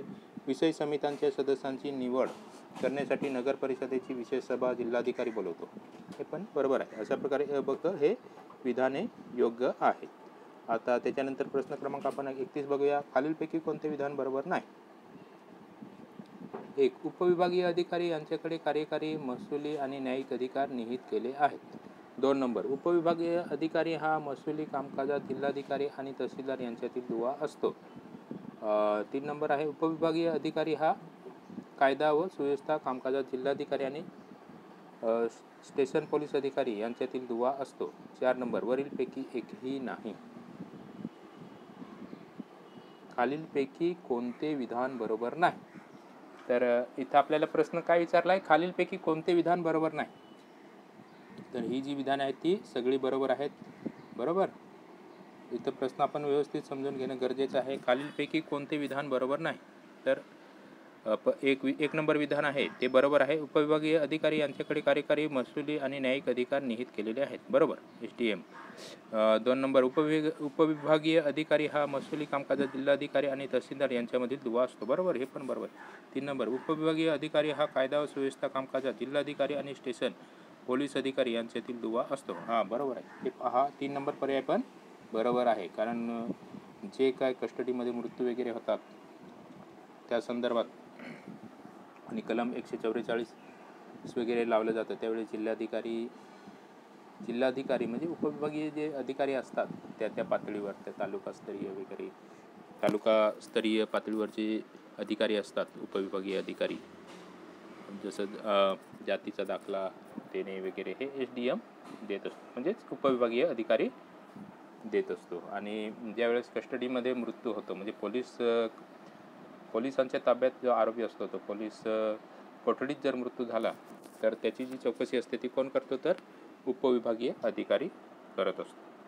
अशा प्रकारे हे पोलीस आणि उपविभागीय अधिकारी हा कायदा व सुव्यवस्था कामकाजात जिल्हाधिकारी आणि पोलीस स्टेशन अधिकारी यांच्यातील दुवा असतो. कारण ती जी चौकशी असते ती उपविभागीय अधिकारी करत असतात. कोठडीतील मृत्यू हा मोठा इश्यू असतो. त्याच्यानंतर प्रश्न क्रमांक बत्तीस. खालीलपैकी कोणते एक मुख्य सचिवाचे कार्य नाही? एक तो कॅबिनेट सचिव म्हणून कार्य करतो. दोन नंबर तो मंत्री परिषदेचा पदसिद्ध सचिव म्हणून कार कार्य करतो. तीन नंबर तो मुख्यमंत्र्याचा सचिव म्हणून कार्य करतो. चार नंबर तो कॅबिनेट सचिवालय विभागाचा प्रमुख म्हणून कार्य करतो. इथं आपल्याला प्रश्न काय विचारला आहे पुढीलपैकी कोणते मुख्य कोणते मुख एक मुख्य सचिवाचे कार्य नाही? तर स मुख्य सचिव तो कॅबिनेट सचिव म्हणून कार्य करतो हे तर बरोबर आहे. दोन नंबर तो मंत्री परिषदेचा पदसिद्ध सचिव म्हणून कार्य करतो हे पण बरोबर आहे.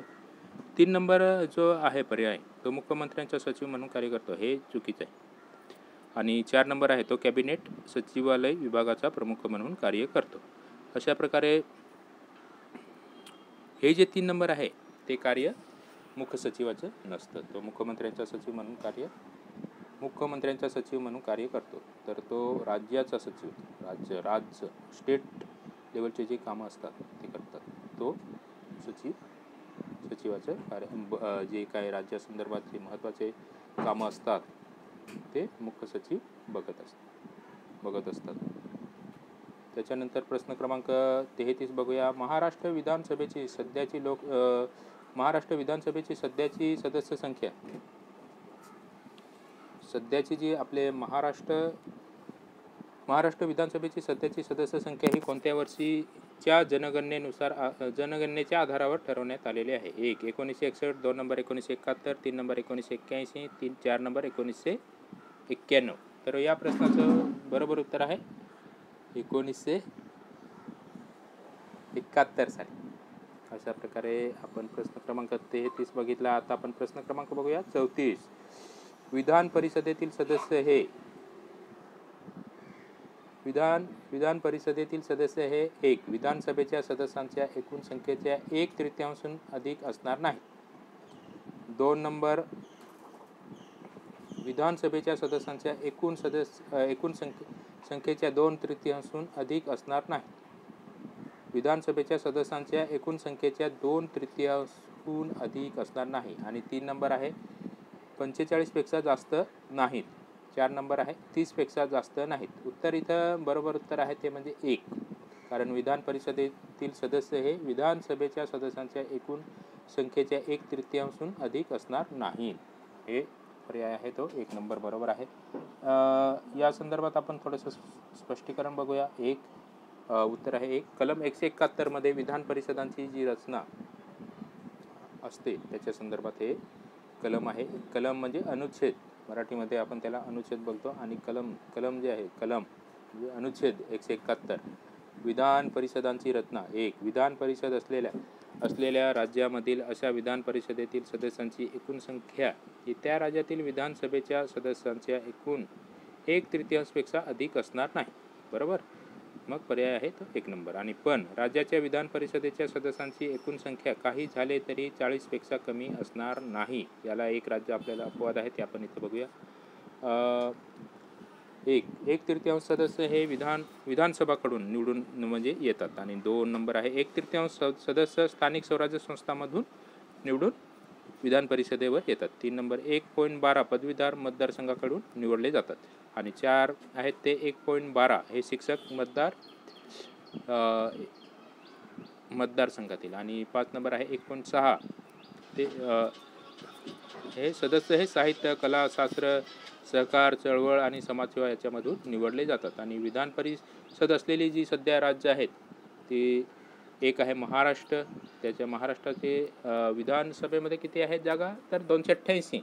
आणि विधान परिषदेमध्ये अठ्ठ्याहत्तर जागा आहेत. आंध्र प्रदेशमध्ये पन्नास बिहारमध्ये पंच्याहत्तर जम्मू काश्मीरमध्ये छत्तीस आणि कर्नाटकमध्ये पंच्याहत्तर तेलंगणामध्ये चाळीस आणि उत्तर प्रदेशमध्ये नव्याण्णव. तर इथं जे जम्मू काश्मीर आहे त्याच्यामध्ये विधान परिषदेमध्ये छत्तीस जागा आहेत.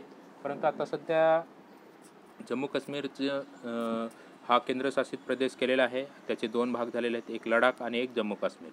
तर नवीन जी काय त्याच्या संदर्भात घटना दुरुस्ती झालेली आहे आणि जम्मू काश्मीरचा जो काय प्रश्न आहे कलम तीनशे सत्तरनुसार त्याच्या संदर्भात आपण स स- एक खास लेक्चर करणार आहोत. त्याच्यामध्ये सविस्तर माहिती देणार आहोत. तर विधान परिषद हे स्थायी सभागृह आहे. दर दोन वर्षांनी एक तृतीयांश सदस्य हे निवडले जातात. आणि ए दर दोन वर्षांनी एक तृतीयांश सदस्य हे निवृत्त होतात व त्यांच्या जागी तेवढेच नियुक्त केले जातात. कारण हे विधान परिषद हे आपलं स्थायी सभागृह आहे. आणि त्या आपले जे सदस्य असतात म्हणजे ते आमदार असतात त्यांचा काला कालावधी किती असतो? तर सहा वर्षे असतो. बरोबर? अशा प्रकारे आपण विधान प- परिषदेसंदर्भात माहिती बघितली. कारण हे महत्त्वाचं आहे. विधान परिषदेसंदर्भात हे जोड्या वगैरे लावायला इतर ज्या परीक्षा होतात त्याच्यामध्ये पण विचारलेले वारंवार विचारले जातात. या विधान परिषदेतील जे सदस्य असतात त्यांच्याबद्दल ते कुठून किती टक्के नि म्हणजे किथून कुठून कसे निवडले जातात? एक तृतीयांश सदस्य हे विधानसभेकडून निवडले जातात. दो एक पॉईंट तीन हे सदस्य हे स्थानिक स्वराज्य संस्थांमधून निवडून येतात. एक पॉईंट बारा हे पदवीधर मतदारसंघामधून निवडून येतात. चार नंबर एक पॉईंट बारा हे शिक्षक मतदारसंघामधून म्हणजे शिक्षक मतदारसंघातील येतात. तर एक पॉईंट सहा हे सदस्य साहित्य कला शास्त्र सह सहकार चळवळ आणि समाजसेवा. आणि त्याच्यानंतर राज्यपालांना विशेष अधिकार असतो. त्याच्यानुसार एक अँग्लो इंडियन समाजाचा जो सदस्य असतो तो राज्यपाल नियुक्ती करतात. पण सध्या कलम आपल्या म्हणजे अनुच्छेद तीनशे तेहतीसवर जे काय चाललं आहे ज्या संदर्भात त्याच्यामध्ये जे बदल आणि रद्द करण्याचा जो विषय आहे त्याच्या संदर्भात आपण सविस्तर माहिती घेऊयाच. ती पुढच्या व्हिडिओमध्ये बघूया. कारण लोकसभेमध्ये दोन असतात. अँग्लो इंडियन समाजाचे आणि रा आपल्या विधानसभा विधान परिषदमध्ये एक असतो. अशा प्रकारे ते आहे. तर त्याच्यानंतर आता आपण प- इथं प्रश्न क्रमांक पस्तीस बघूया. महाराष्ट्र राज्य संचालनाय संचालनालय. अनेक प्रकाशने प्रकाशित करते. खालीलपैकी कोणते एक त्यात समाविष्ट नाही? एक महाराष्ट्राचे वार्षिक आर्थिक सर्वेक्षण दोन नंबर महाराष्ट्राची वार्षिकी तीन नंबर राज्याचे सांख्यिकीय सारांश चार नंबर संक्षिप्त अर्थसंकल्प. तर या प्रश्नाचं आपल्याला सगळ्यांनाच माहिती आहे. बरोबर उत्तर आहे ते म्हणजे दोन नंबर महाराष्ट्राची वार्षिकी. आणि प्रश्न क्रमांक छत्तीस योग्य पर्यायांची निवड करा. अ मंत्रिमंडळ ही राज्याची दुय्यम कार्यकारी संघटना आहे. आपल्याला प्रश्न काय विचारला इथं? योग्य पर्यायांची निवड करा. अ मंत्रिमंडळ ही राज्याची दुय्यम कार्यकारी संघटना आहे. ब. मंत्रिमंडळ हे सामुदायिकरित्या राज्यपालाला जबाबदार असते. क. मंत्रिमंडळ हे प्रशासकीय धोरण आखत असते. ड. मंत्रिमंडळ हे अंदाजपत्रक तयार करून मुख्यमंत्र्यास सादर करते. पर्याय उत्तरे. एक. ब आणि क केवळ दोन. क आणि ड केवळ तीन नंबर. क केवळ आणि चार नंबर. ड केवळ.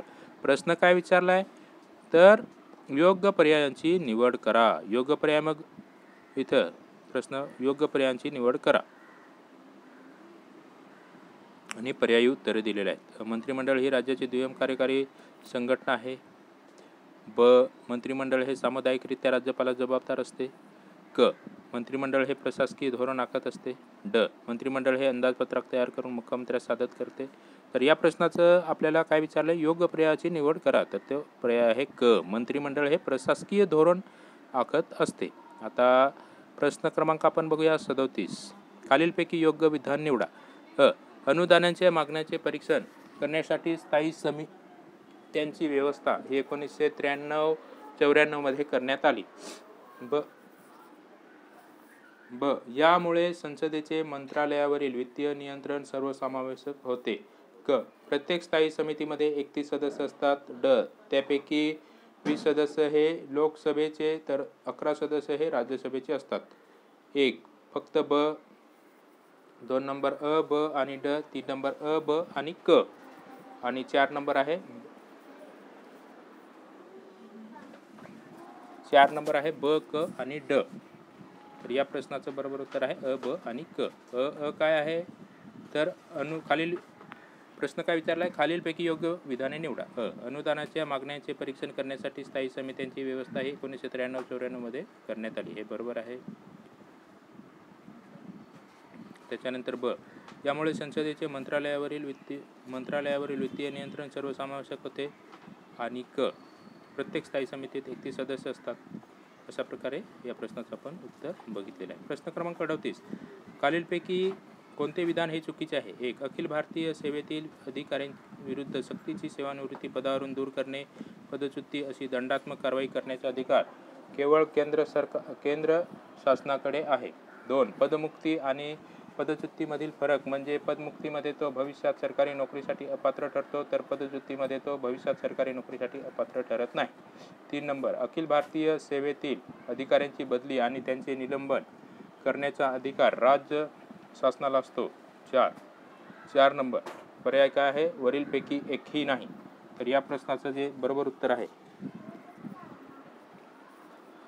हा जो सिलेबस आहे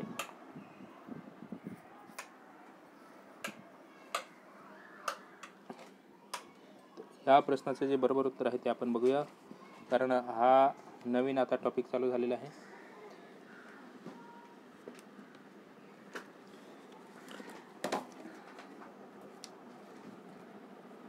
इसमें राज्य शासनातील हे पोलीस सेवा खालील विधाने राज्य लोकसेवा याच्यामध्ये जे आहे ते केंद्रीय न्यायिक प्रशासन लोकलेखा समिती त्याच्यानंतर हे काय? प्रश्न क्रमांक किती आहे? कोणते खालीलपैकी कोणते विधान हे चुकीचे आहे?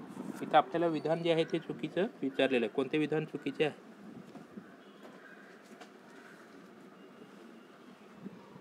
अखिल भारतीय सेवेत सेवेतील अधिकाऱ्यांविरुद्धची सक्तीची सेवानिवृत्ती.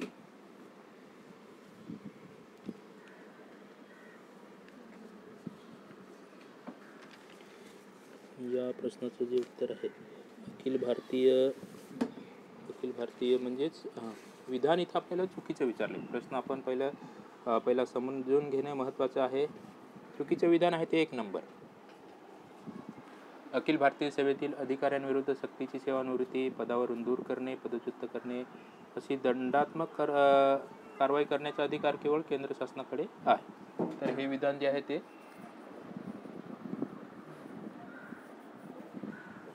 त्याचं उत्तर आहे एक नंबर पर्याय. आणि त्याच्यानंतर आपण बघूया प्रश्न क्रमांक एकोणचाळीस. लाल बहादूर शास्त्री राष्ट्रीय प्रशासन अकादमी मसुरी मसुरी इथं थोडीशी टायपिंग मिस्टेक झालेली आहे. मसुरी मसरी मसुरी मसुरी आहे मसुरी याबाबत खालील विधाने विचारात घ्या. एक अ. ही एक सार्वत्रिक धोरण आणि प्रशासनासंबंधीची संशोधन आणि प्रशिक्षण संस्था असून तिची स्थापना एकोणीसशे एकसष्टमध्ये झाली. ब.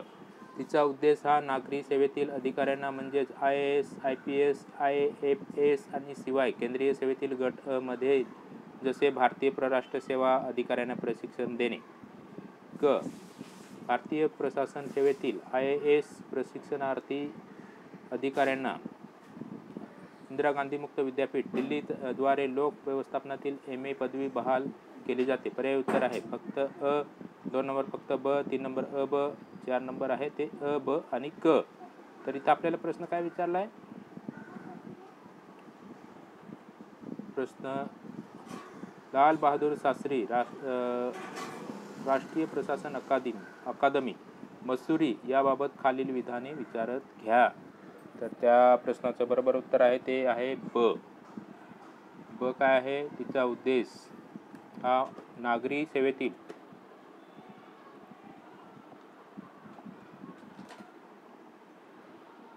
नागरी सेवेतील अधिकाऱ्यांना म्हणजेच I S I P S I F S I. I F S शिवाय केंद्रीय सेवेतील गट अ मधील जसे भारतीय परराष्ट्र सेवा अधिकाऱ्यांना प्रशिक्षण देणे. हा तेच आहे. ब बरोबर उत्तर आहे ते ब. आता प्रश्न क्रमांक चाळीस. अखिल भारतीय सेवांच्या निर्मितीबाबत खालील विधाने विचारात घ्या. अ. राज्यसभेने तिच्या एकूण सभासद संख्येच्या निम्म्यापेक्षा कमी ना कमी नाही इतक्या सदस्यांच्या पाठिंबावर पाठिंबाच्या ठरावाने तसे घोषित करावे. दोन नंबर ब. राज्यघटनेच्या अनुच्छेद तीनशे बारा अन्वये संसदेला कायद्याद्वारे संघराज्य आणि घटक राज्ये यांना सामायिक असा एक किंवा अनेक अखिल भारतीय सेवा निर्माण करण्याचा अधिकार दिला आहे. मात्र त्यासाठी अगोदर तसा ठराव राज्यसभेने मंजूर केला पाहिजे. वरीलपैकी कोणते विधान बरोबर आहे? तर या प्रश्नाचं बरोबर उत्तर आहे ते ब फक्त ब. पर्याय इथं दिलेले आहेत आपल्याला एक फक्त अ दोन नंबर फक्त ब तीन नंबर अ आणि ब दोन्हीही चार नंबर अ आणि ब दोन्हीही नाहीत. तर या प्रश्नाचं बरोबर उत्तर आहे ते ब. ब आणि प्रश्न असा आपण समजून घेणे महत्त्वाचे आहे. अखिल भारतीय सेवांच्या निर्मितीबाबत खालील विधाने विचारत घ्या.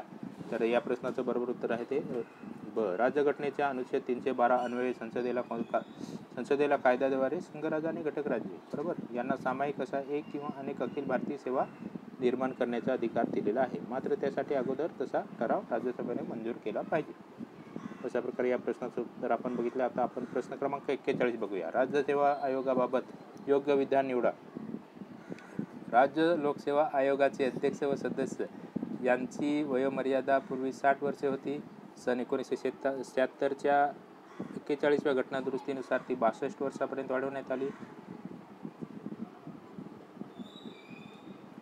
त्याच्यानंतर ब विद्यापीठातील एका दृष्टीहीन प्राध्यापकाची राज्यसेवा राज्य लोकसेवा आयोगाच्या सदस्यपदी केलेली नियुक्ती सर्वोच्च न्यायालयाने गा ग्राह्य धरली क राज्य लोकसेवा आयोगाने केलेल्या शिफारसी सल्लात्मक स्वरूपात असतात व त्या सरकारवर बंधनकारक असतात. पर्याय उत्तरे आहेत. एक वरील सर्व दोन फक्त ब आणि क तीन नंबर अ आणि क फक्त अ आणि ब तर आहे दोन नंबर पर्याय. दोन नंबर पर्याय काय आहे? ब आणि क. ब आणि क. बघ इथं प्रश्न काय विचारला आहे आपल्याला? राज्य लोकसेवा आयोगाबाबत योग्य विधान निवडा. विद्यापीठातील एका दृष्टीहीन प्राध्यापकाची राज्य लोकसेवा आयोगाच्या सदस्यपदी केलेली नियुक्ती सर्वोच्च न्यायालयाने ग्राह्य धरली बरोबर? या प्रश्न बरोबर. दृष्टीहीन असते म्हणून काय?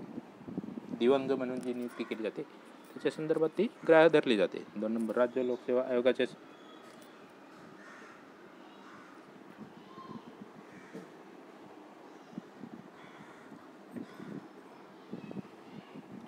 त्याच्यानंतर प्रश्न क्रमांक आहे बेचाळीस. खालीलपैकी कोणते विभाग हे वित्त मंत्रालयाचे विभाग नाही अ खर्च विभाग दोन आर्थिक व्यवहार विभाग तीन नंबर बँकिंग विभाग चार नंबर महसूल विभाग आणि ड ड ई. अ ब क ड ई. बरोबर? अ खर्च विभाग. ब आर्थिक व्यवहार विभाग. क बँकिंग विभाग. ड महसूल विभाग. ई अर्थसंकल्प विभाग. पर्याय उत्तरे आहेत. एक ब आणि क. दोन नंबर क आणि ड. तीन नंबर क आणि ई. चार नंबर ब आणि ई. तर वित्त मंत्रालयाचे कोणते विभाग नाहीत? तर क. हा बँकिंग विभाग हा वित्त मंत्रालयाच्या अंडर येत नाही. बरोबर? आणि ई. अर्थसंकल्पाचा विभाग. अशा प्रकारे हे उत्तर बरोबर आहे. खालीलपैकी कोणते विभाग हे वित्त मंत्रालयाचे विभाग नाहीत? वित्त मंत्रालयाचे विभाग नाहीत. बँकिंग विभाग आणि अर्थसंकल्प विभाग. आणि आता इथं आपण प्रश्न क्रमांक त्रेचाळीस बघूया. महत्त्वाचा आहे प्रश्न. यसलाच्या खालील उद्दिष्टांपैकी कोणते उद्दिष्ट चुकीचे आहे? एक विकास प्रशासनाच्या क्षेत्रातील प्रमुख राज्यस्तरीय प्रशिक्षण संस्था म्हणून कार्य करणे. दोन नंबर विकास प्रशासनासंबंधीची माहिती एकत्रित करणारी आणि तिचा प्रसार करणारी शिखर संस्था म्हणून सेवा देणे. तीन नंबर विकास प्रशासनासाठी धोरणे कार्यक्रम आणि प्रकल्प तयार करणे. चार नंबर विकास आणि लोक प्रशासनामध्ये सल्लागार सेवा पुरवणे. आता यसदा आपल्याला माहितीच आहे सगळ्यांना. यसदा काय आहे ते इथं जो जिल्हाधिकारी आपले म्हणजे जे काय राज्यसेवे अंतर्गत परीक्षा पास झाल्यानंतर आप इथं प्रशिक्षणासाठी पाठवलं जातं. ते कुठं आहे तर पुण्याला. अशा प्रकारे चुकीचे उद्दिष्ट. यस्ताच्या खालील उद्दिष्टांपैकी कोणते उद्दिष्ट चुकीचे आहे? तर तीन नंबरकडे बाकी जे आहेत एक दोन आणि चार. एक काय आहे विकासाच्या प्रस विकास प्रशासनाच्या क्षेत्रातील प्रमुख राज्यस्तरीय प्रशिक्षण संस्था म्हणून कार्य करणे. हे बरोबर आहे. त्याच्यानंतर दोन विकास प्रशासनासंबंधीची माहिती एकत्रित करणारी आणि तिचा प्रसार करणारी शिखर संस्था म्हणून सेवा देणे हे पण बरोबर आहे. आणि चार नंबर आहे विकास आणि लोक प्रशासनामध्ये सल्लागार सेवा पुरवणे. अशा प्रकारे या प्रश्नाचा आपण यसदा संदर्भात जे जो प्रश्न आलेला त्याचं उत्तर बघितलं. तीन नंबर हे उद्दिष्ट चुकीचं आहे. आता आपण बघूया प्रश्न क्रमांक चौवेचाळीस. केंद्रीय शासकीय न्यायाधिकरणासंबंधीच्या खालीलपैकी कोणते विधाने बरोबर नाहीत? अ. केंद्रीय प्रशासकीय न्यायाधिकरण ही संविधानाचे कलम तीनशे तेवीस अ अंतर्गत स्थापन झालेली घटनात्मक संस्था आहे. ब. केंद्रीय प्रशासकीय न्यायाधिकरण ही प्रशासकीय न्यायाधिकरण कायदा एकोणीसशे पंच्याऐंशी अंतर्गत स्थापित एक वैयक्तिक संस्था आहे. क. त्याचे सदस्य हे फक्त प्रशासकीय अनुभव असणारे हे असणारे यांच्यामधूनच नेमले जातात पर्याय उत्तरे. एक अ फक्त अ दोन नंबर. फक्त ब तीन नंबर. अ ब आणि दोन्ही. चार नंबर. अ आणि क दोन्ही. तर बरोबर उत्तर आहे.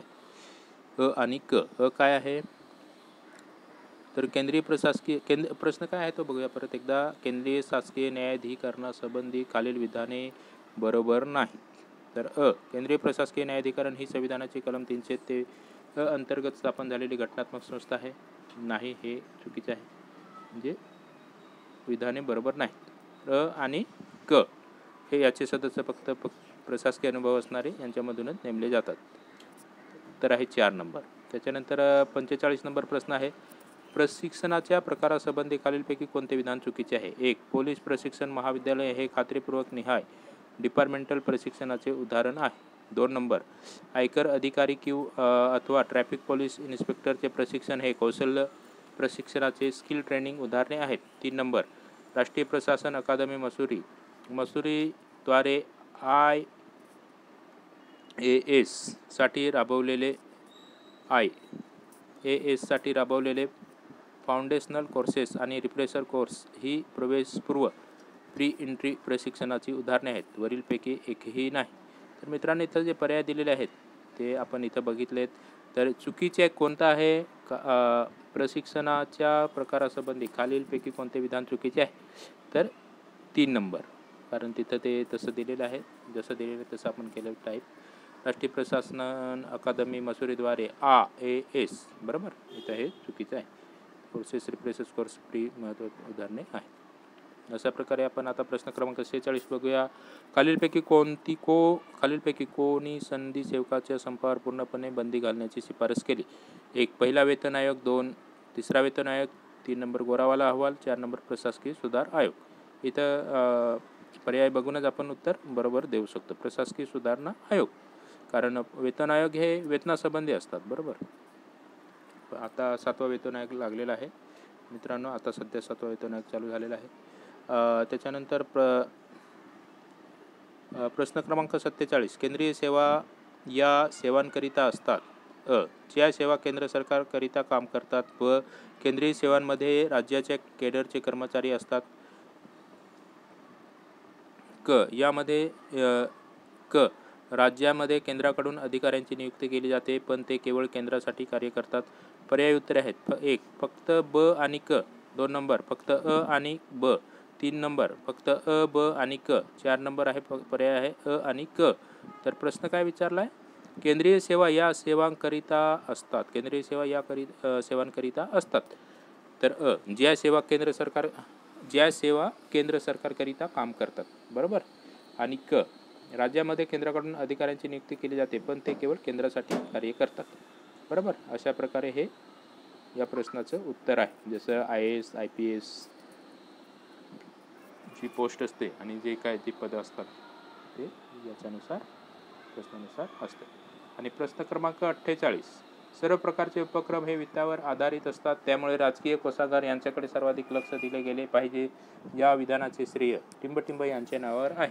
एक नंबर एल डी व्हाईट दोन नंबर दादाभाई नवरजी तीन नंबर ए सेन म्हणजेच अमर सेन आणि चार नंबर कौटिल्य तर या प्रश्नाचं बरोबर उत्तर आहे मित्रांनो चार नंबर पर्याय. प्रश्न काय विचारला आहे तर बघूया आपण. सर्व प्रश्न प्रकारचे उपक्रम हे वित्तावर आधारित असतात.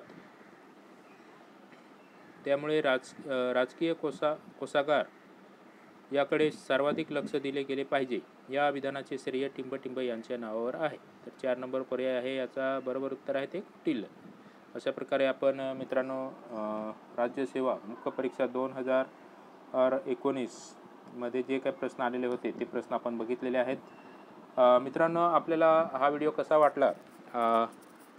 त्याच्याबद्दल आपण जरूर कमेंट बॉक्समध्ये लिहावे. मित्रांनो व्हिडिओ आवडला तर चॅनलला लाईक करा चॅनलला सबस्क्राईब करा आपल्या मित्रपरिवारामध्ये मित हा व्हिडिओ फॉरवर्ड करा जेणेकरून अभ्यास क अभ्यास करताना आपल्याला प्रश्न कसे येतात परीक्षेमध्ये प्रश्न कसे येतात हे समजल्यानंतर आपण अभ्यास व्यवस्थितपणे करू शकतो. कारण प्रश्न कसे येतात हेच जर आपल्याला समजलं नाही तर आपण अभ्यासाची दिशा ठरवू शकत नाही. म्हणून आपण पहिले अभ्यास करण्या अगोदर जे काय आयोगाने मागील वर्षी म्हणजे मागील प्रिव्हियस इयरचे जे क्वेश्चन पेपर असतात ते बघणे खूप महत्त्वाचे असतं. त्याच्यानुसारच आपण अभ्यास करू केला पाहिजे. अशा प्रकारे मित्रांनो जर आपल्याला हा व्हिडिओ आवडला असेल तर व्हिडिओला लाईक करा चॅनलला सबस्क्राईब करा. आणि व्हिडिओ जर नसेल आवडला तर काय नाही आवडला हे कमेंटमध्ये जरूर लिहा. नसेल आवडला तर डिसलाईक करा.